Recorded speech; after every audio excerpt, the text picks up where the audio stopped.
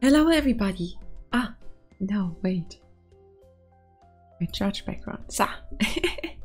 Hello everybody, how are you all doing? Nice to see you again.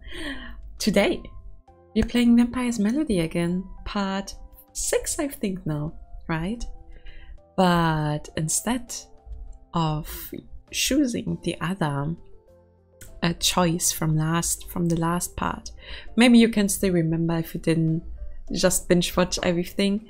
Last time we robbed a store that was um yeah, part of a of a diligent group. Um and we robbed that store and they chased us, they wanted to shoot us and they actually did shoot Raylan and uh, Raylan died from that and um, there was also a choice if we go one way or the other and um, my guide says that for the next ending we have to start somewhere else. We have to go way back into the past. Yes i'm playing with a guide so i don't bore you with stupid endings. So where we want to go today is chapter 3 where we were in the hotel, if you can remember. We wanted to stay in the hotel, but we couldn't because we didn't have any identification documents. And there we had another choice that leads up to different endings, which we're gonna find out today. Let's go. So, the choice affects follow-up. Yeah, I guess that was the one that uh, was a bit, um, yeah. so what we did last time was where to obtain them. But this time we are going to choose we forgot to bring. I think. Yes, we forgot to bring. Let's go. Ah, you see, we left in a hurry today and didn't have time to bring them with us. oh gosh, how. Oh, that was cute. Like, yes, yes, go for it. I blandly make up a lie and even pat my chest. We can't get them now. Please allow us to stay here for one night. If you really need one, I get it for you when I wake up tomorrow morning. Oh. The manager looks at me quietly then he comes over to size Yella and I up. And I up a few times. Finally, he asks, asks in a low voice, Have you really forgotten to bring them with you? Or you don't have one at all? Uh, I... What should I do? I'm a little nervous and have to look at Yella again. she winks at me. What does that mean? Good job, Yella. You're doing nothing. Don't tell me I have to maintain my story? Fine.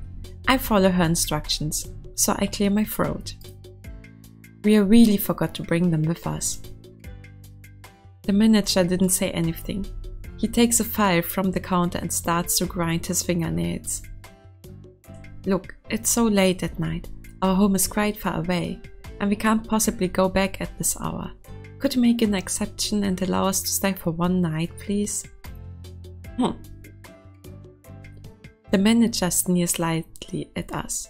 He gently blows on his fingernails and begins to file his right thumbnail. We have money, but we made a mistake today, so we can pay a bit more. I will bring that whatever identification here tomorrow. Look, how does 120 sound? Hey, why did you add so much that quickly? Yella pokes at my ribs and whispers those words into my ear. That's true. Oh my god, Raylan, you fucking moron. Upon thinking further, I realize she's right, and I shouldn't offer such a large amount on the first go. So I continue with my bid. One... 101. Upon hearing my offer, Yella's eyes pop wide open, as if she wants to say something, but it seems she's at loss for words, and she just closes her mouth. Despite the higher amount I'm offering, the manager doesn't seem to be interested. He also becomes impatient. Oh, identification. Identification. A valid identification. Why are you repeating it three times? Show it to me. Um, 110? You don't understand what people are saying? The manager chucks his fire on the counter, adjusts the snake which produces cracking noises, and then gets up as he smacks the desk. There's no need for this. We are talking about a deal here. How about this? 115. Hey, you don't understand what people are saying, young man? He doesn't understand. You can tell me. Hm, God shouldn't interrupt. What did you say? Those words appear to have hit a raw nerve. A muscles contract and she's staring at the man behind the counter. This is definitely the prelude to an attack. Get out if you don't have any identification. I don't entertain people without identities.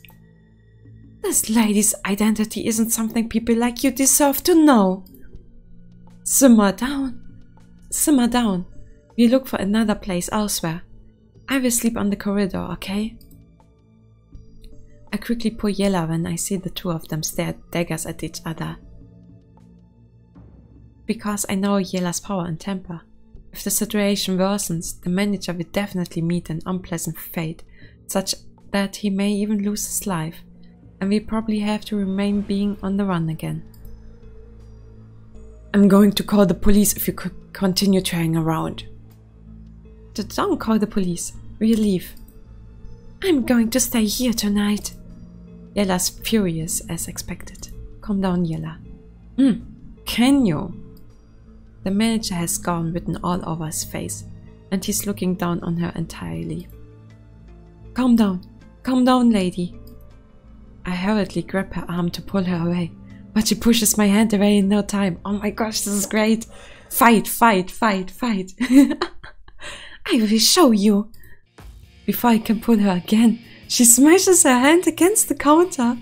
Whoa! And the entire thing is broken into two halves cleanly in a flash like a walnut that has been sun for a year. Who said I can't? The manager is completely surprised by the deafening sound and impactful scene led out in front of him. He's stunned at first, but after a moment's hesitation, he withdraws through a door at one side, trembling with fear and slamming his hand on a button near the door before hiding inside. Oh, congrats, Yella. Oh my gosh. Come out! Yella goes after him, kicks the door open, and is about to go inside when a deafening noise suddenly rings out. Oh no! Oh no! Isn't that the noise from those police cars with the flashing lights? Run, hurry! He's caught the police! Why should I? I'm going to give him a beating. No, the police will arrive soon. Then I give all of them a good beating. Calm down. Oh no, I notice a car with flashing lights has stopped outside from the corner of my eye where I am trying to persuade Yella. The police are here. What? Oh jeez, Yella are you? Yella finally returns to herself and looks at the police car outside when she heard me call out an alarm. Run! Why they still haven't left the car? I grab Yella's hand while she's still rooted to the spot, rush out of the hotel and we flee while the police have stepped out of their car. However, we are still a bit slow. A strong steely man's voice soon booms out from behind. Freeze! Hands up! What should I do? Wow! Oh my gosh! We are going to keep running.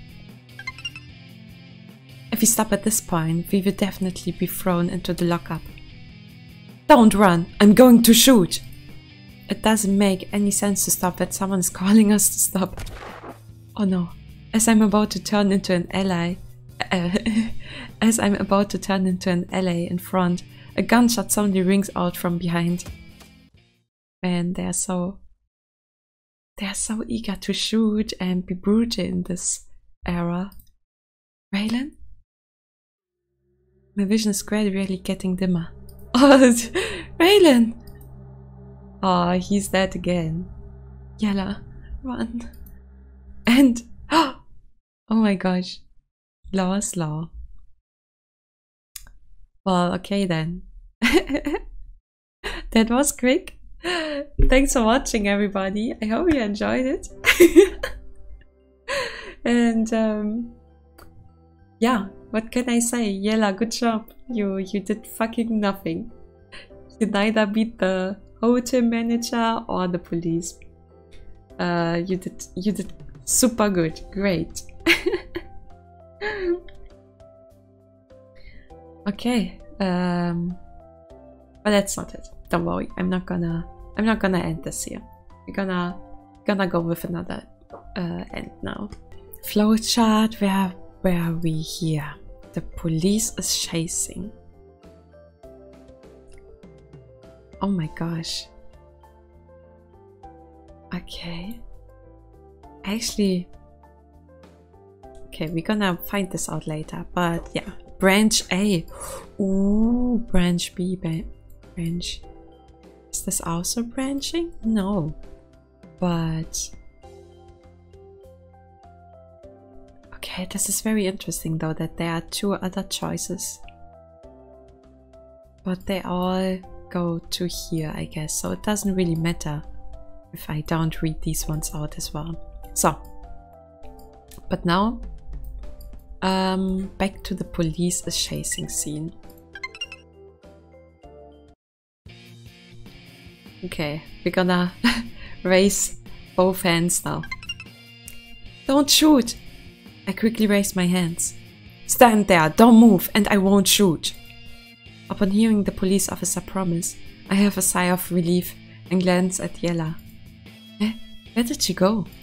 Oh, halt! Bang, bang, bang, bang, bang! The policeman suddenly shouted, followed by a series of gunshots from behind. I quickly cover my head and lie prone on the ground. Bullets are hitting the pavement around me, sending quite a few small fragments flying around. Are you still playing possum over there? Hurry up and come here. Oh my gosh. You would even dare to attack the police? This time the policeman who pursued us has met the same fate as the security guards from earlier and is down. Since I've experienced it, since I'm since I've experienced it, I'm a bit used to it. Oh, I'm not starving now. They're no match for me, no matter how many they have. True to her words, the police officer is further away from us than the security guards from earlier. But she can still reach and incapacitate him. Looks like a well-fed vampire's power is simply unimaginable for ordinary people. Hurry over here and see what they have. Okay. Yella's calling me to join her in searching the police car as she climbs inside the vehicle which is still flashing its lights. Look, there are a lot of goodies in here. Yella hands me a stack of cards when I reach the side of the car. These cards have a lot of printed words and a person's face drawn on them. What are these? It's written above. Driving license. Oh my. They have a driver license now, maybe. Ah, these are the identification that manager mentioned. That's right. And it didn't take me any effort to get them. Haha Oh my god, Yella. Yella climbs out of the car after saying it. You're done? Hmm, there's nothing else inside, save for some files. Let's go. Give me a minute. I'm going to teach that manager a lesson. Don't, don't, don't, don't. We still have a policeman lying down here, and other police officers will arrive soon. I don't have the kind of luck to dodge so many bullets. Yella glances at that smashed reception counter inside the motel, and her lips curve downwards. Seems she has come to her senses. Fine, I consider it. Uh, fine.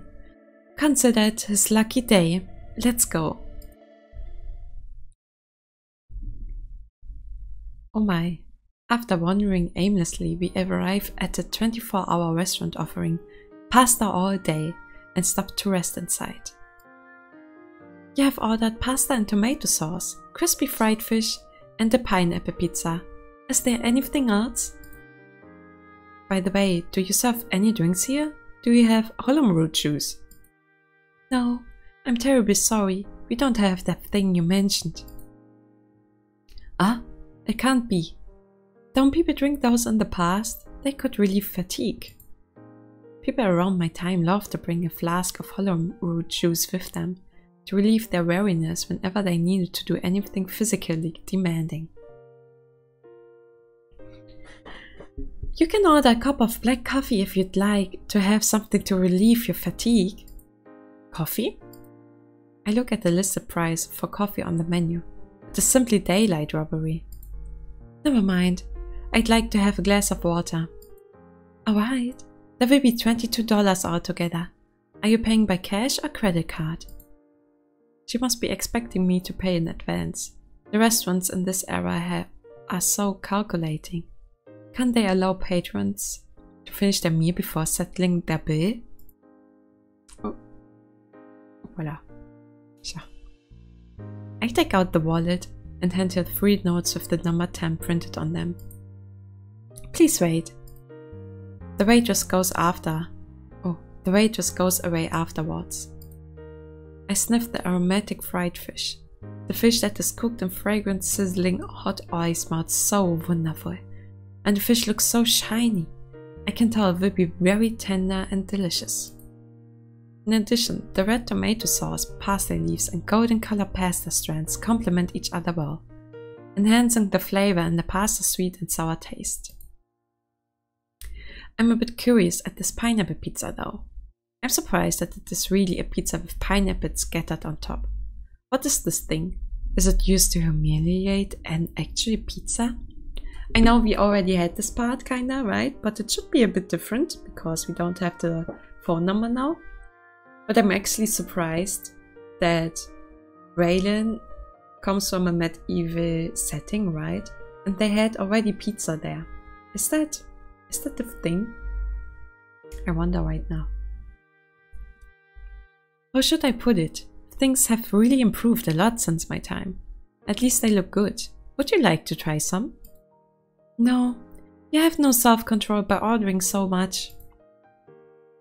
Yella narrows her eyes. I'm a chef after all, and we need to know the dishes people eat in this era. Fine, eat your food slowly. I'm going to help myself then. I begin to eat in huge mouthfuls. I'm finally having a proper meal for the first time over these two days, and I can't help shedding tears over it. Do you even cry when you eat? Oh, you are so weak. Shut up. Don't talk with your mouth full. I'm going to look over these and see if there's a suitable identification for you. Yella begins to flip through the stack of driving licenses she obtained from the police car. This man looks so ugly. she shows a driver license to me by saying it. Hmm, wow. Shut up! I didn't allow you to talk. I nod. Eh? Does this one look like you? Yella takes out a license to show it to me when she is halfway through the steak, and I quickly swallow the food in my mouth. I can't see my appearance though. How do I look? Hmm. Then take this one. The two of you have the same silly features. More or less. I'm very handsome, okay? I see. You mean I look very charming to you? Haha. You flatter me. You flatter me. You're full of yourself. Nobody said that. I mean both of you. Simply look alike. By the way, it says here on the top that this person is called John Axel, so I call you by this name in future. John, does it seem as if fate has already decided on things for you? No, I certainly won't change my name. Mr. Cook decided one Mr. Cook decided on it for me. Fine, fine. Use whatever name you wish. But you're John when people ask for your identification. Get it? I get it. Yella continues to look through the rest of the driving licenses after taking out John's license. She must be finding a suitable one for herself. Oh my, psh, I don't think you will find one that suits Yella, not gonna lie. Fucking silver hair, the fuck? Does she know how she looks though? I bring a slice of pizza into my mouth, shifting my gaze away from Yella. It just so happens that the black box hanging on the wall at one side of the restaurant has a picture of a person that seems to be moving and can even speak. It is so surprising that I nearly choke on my pizza slice. I quickly drink a mouthful of water to calm down. Why are you in such a hurry? Nobody is competing with you for these. I she kinda looks disgusted, not gonna lie. No, do you know how that thing can possibly contain a person inside? I point to that black box. Who knows?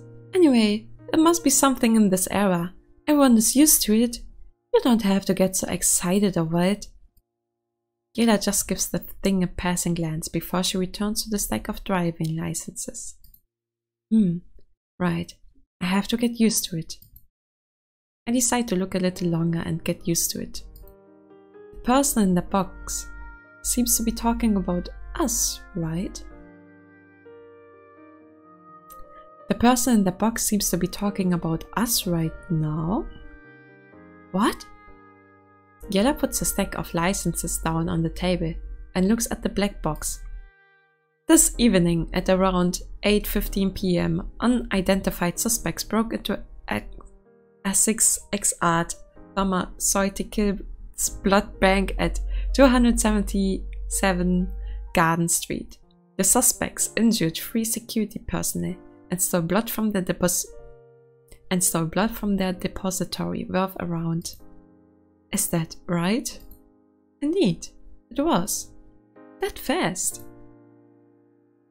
The three security personnel have been sent to a hospital for observation, and they are in stable condition, but they claimed they could not remember anything at the time as if they had developed short-term memory loss. Investigators believe this could be the work of the local cult Order of Fresh Blood. The police would like to remind everyone to be careful when out at night and avoid cults. This is today breaking this is today's breaking news. Next, we have a speech by President Hobbs for our military operations overseas. A fresh wave of airstrikes. When the report on us ended, I shift my attention away from the box which has a man with blonde hair appear at the back. You can even make people lose their memories when you suck their blood. Yes, it wasn't on purpose though. It's so convenient. Oh, I see you didn't suck my blood because you were afraid I would forget about you. Is that right? What? Of course not. Don't talk nonsense. I can have as many frauds like you. Yella turns away in a huff. Mm-hmm. I didn't know you're a lady who's afraid of being lonely. That's so cute. Go on, say that again. You may find everything on this table hurtling at you though. D don't, don't waste all this good food. I'd hate to see them get ruined. I shut up, I shut up. Shut up! She glares at me before she resumes flipping through the driving licenses. Looks like the police in this era, right?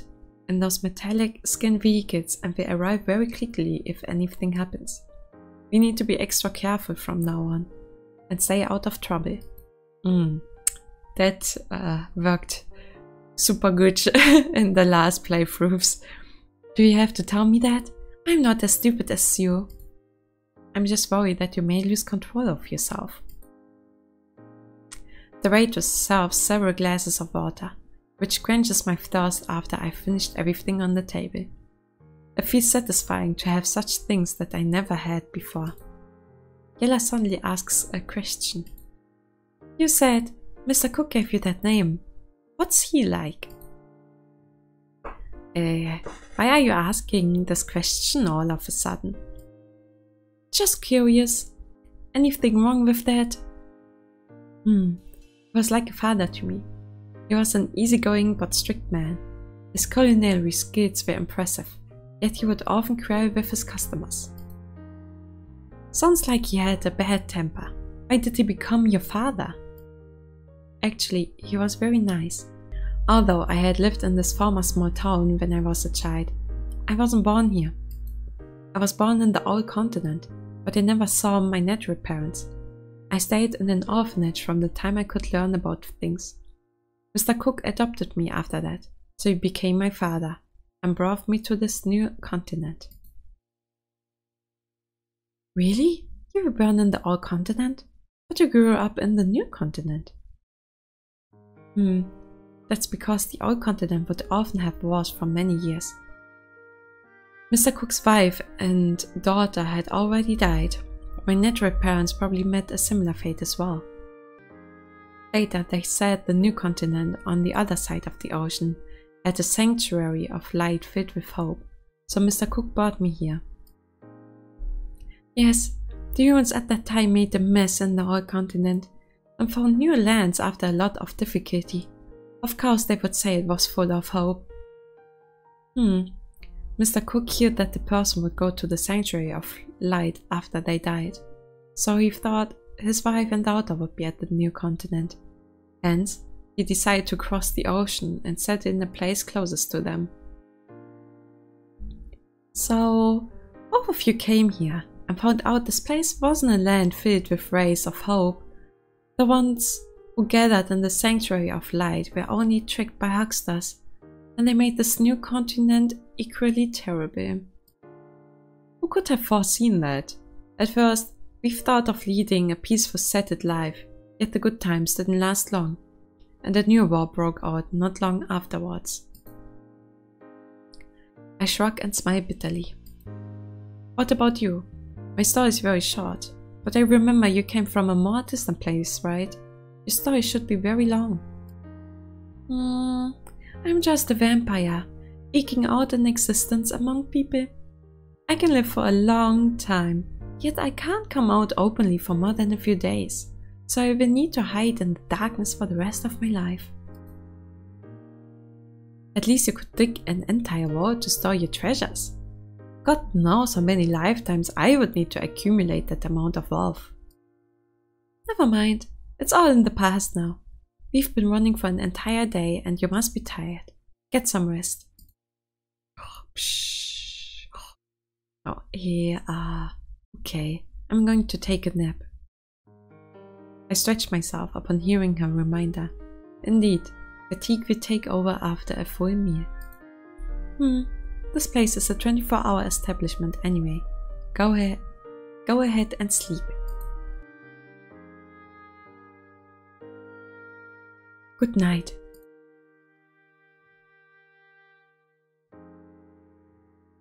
Layla didn't answer me. When I look at her, she's looking out the window, and I can't figure out what she's thinking. Of course not. My head feels heavier. I use both hands as a pillow and slowly drift off to sleep after resting my head on the table. The next morning, we are woken up by all that noise from the restaurant staff handing the furniture and eating utensils roughly.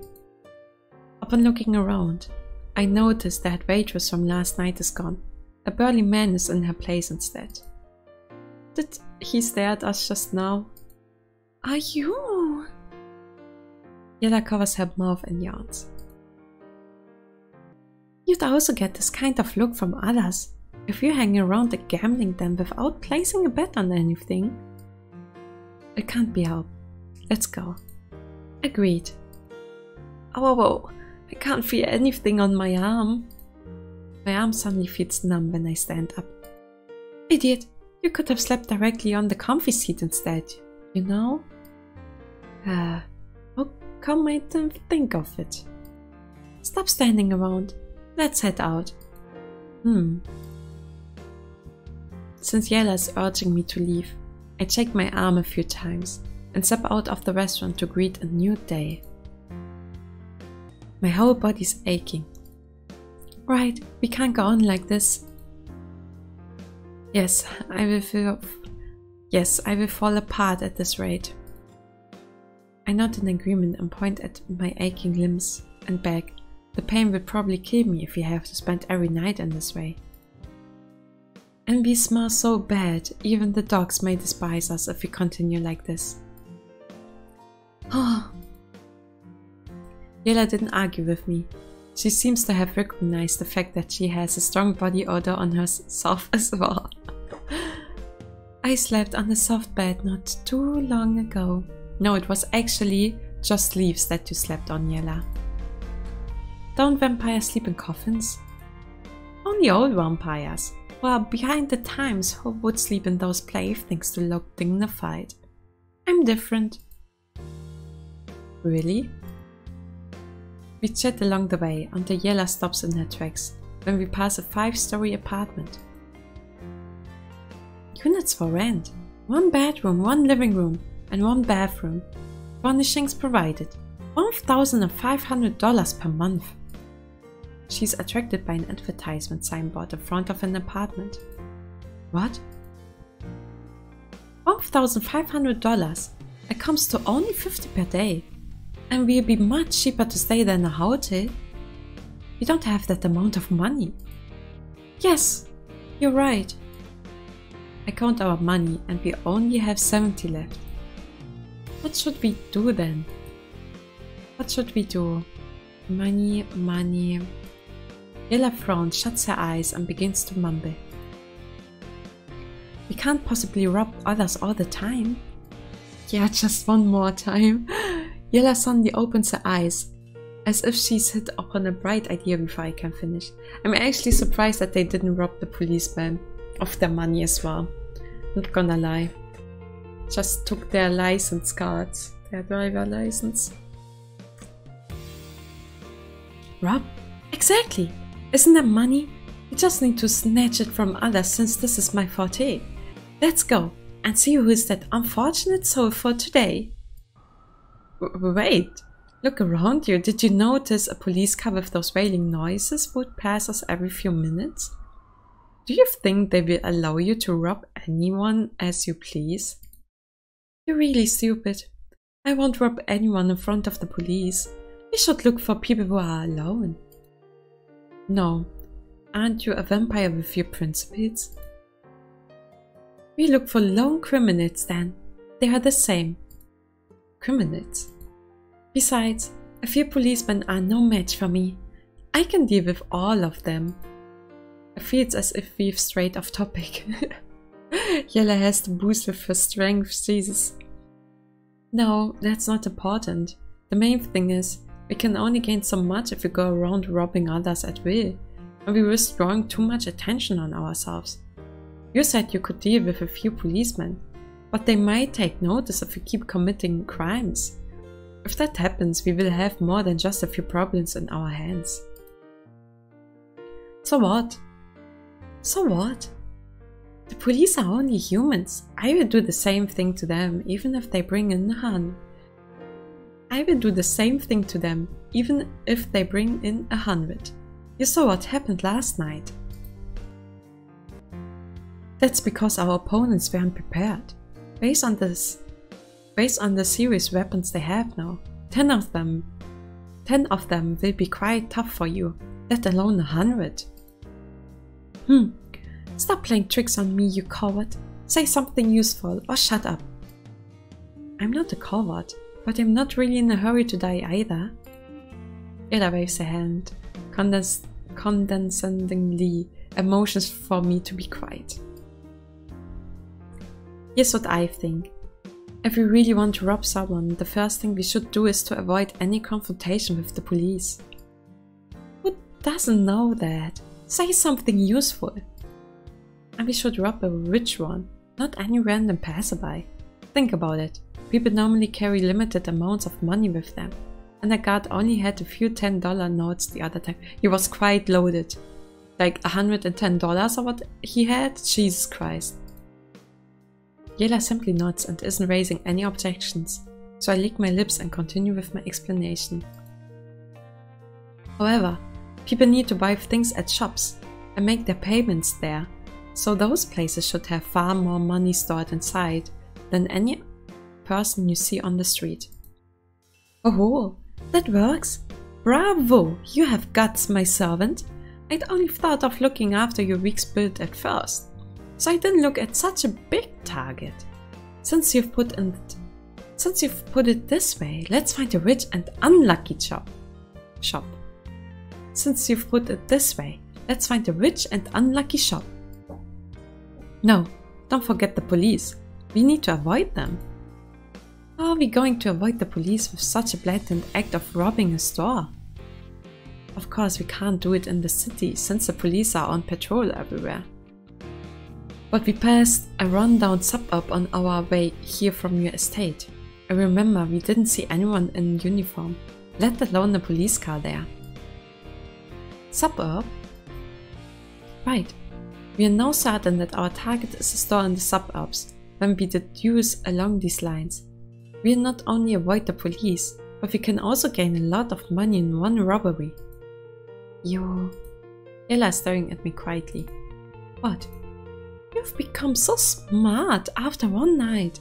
Are you really that idiotic servant of mine? What do you mean? I've always been this way. I never changed at all. I only praised you a bit, and your head is already in the clouds? Your idea sounds good, but actions speak louder than words. Alright, let's go then. Okay. Wow, I think we're gonna um, end this episode here and do the next reading next time when we find out how the next paths are. What do you think about that? I think that's a good idea. So I hope you enjoyed this. Yeah, it was a lot of um, old stuff mixed in the new stuff. So I hope you're not binge watching the show right now. And this Let's Play or the visual novel. And uh, yeah, we aren't too bored by this one this time. But yeah, next time it's gonna be interesting. We're gonna see a new ending probably. So I hope to see you again and have a nice day, nice evening. Goodbye, everybody.